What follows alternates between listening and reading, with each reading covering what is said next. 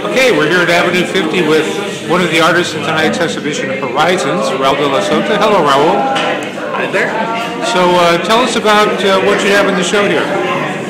Well, uh, it's interesting that for the first time in my life, I really worked very, very uh, focused on a show uh, for three months, and I produced the work that you see here, uh, nine paintings actually uh, during a span of three months. And uh, it seemed like it was just uh, something that I had to do for some period of time. So I'm glad I did it, and now I can rest.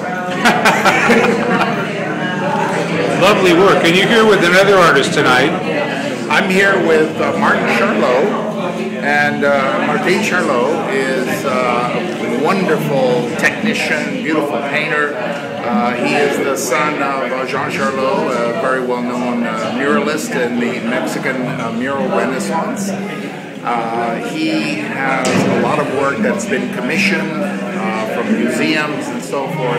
And the interesting thing is that we thought, because having this show together, that his is so highly detailed and mine is much more ethereal, you know, much more, shall we say, uh, space-like. and uh, his is filled with objects and mine has a lot of open space. Yours is filled with lots of meaning. A lot, uh, yeah, yes, that's true. I enjoy the painting.